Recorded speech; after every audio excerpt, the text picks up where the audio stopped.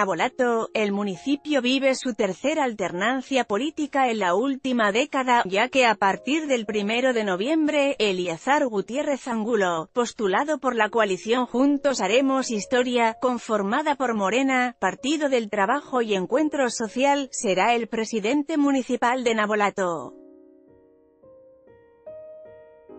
Gutiérrez Angulo venció con amplio margen de votación a Rosa del Carmen Rodríguez Vega, del PRI, Partido Verde y Nueva Alianza, a Leonel Aguirre Meza, de la coalición por Sinaloa al Frente, PASPAN, PRD y Movimiento Ciudadano, y Pedro Alonso García Hernández.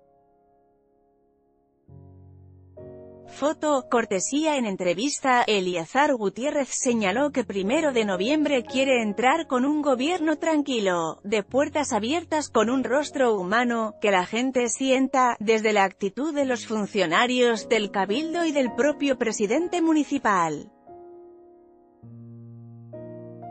Adelantó que su administración será totalmente diferente, donde la gente respire confianza, respuesta y soluciones porque quiere que la gente sienta eso que tanto reclama de los gobiernos.